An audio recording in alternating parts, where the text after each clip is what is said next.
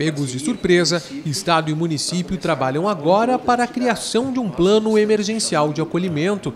Por meio dele, será possível definir questões como alojamento, alimentação e encaminhamento profissional. Esse fluxo, nesse processo, o mínimo que se exige para um acolhimento digno e humanitário é que o município e o Estado tenham um prazo razoável para se organizar e para dar esse acolhimento que evidentemente qualquer ser humano merece e nós, da melhor maneira possível, o faremos.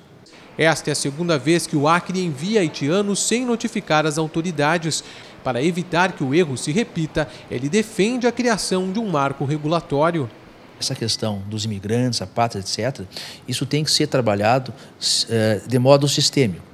União, Estado, municípios. Nós temos que ter esse marco regulatório, essa lei geral nacional que nos oriente e mais do que nos orientar nas suas principais diretrizes, criando esse sistema, permite que cada ente federativo faça o seu planejamento com tempo e qualificação para que esse atendimento primeiro aconteça da forma certa e que essas pessoas realmente eh, encontrem aqui o destino e o futuro que sonham. No fim do ano passado, mais de 40 haitianos chegaram à capital gaúcha vindos do Acre. Apenas nove ficaram no Rio Grande do Sul. Só aqui residem cerca de 10 mil haitianos. A sociedade gaúcha tem uma característica fundamental que é a hospitalidade. E isso transparece muito bem em muitas das nossas comunidades que é, recebem pessoas vindas é, de outras nações que vêm para cá em busca de oportunidade de trabalho.